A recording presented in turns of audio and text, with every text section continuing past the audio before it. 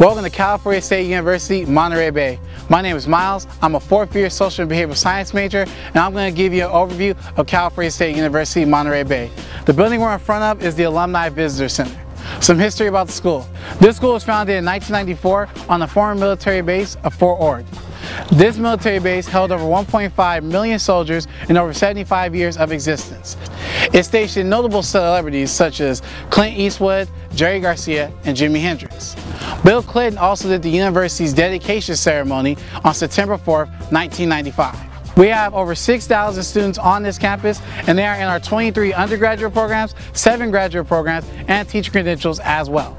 Our colors are Bay Blue, Golden Sand, and Valley Green.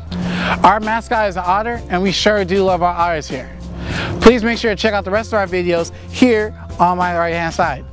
Like click on here, any of these. Click on them, hey, click on them, hey, click on them, hey, click on them, hey.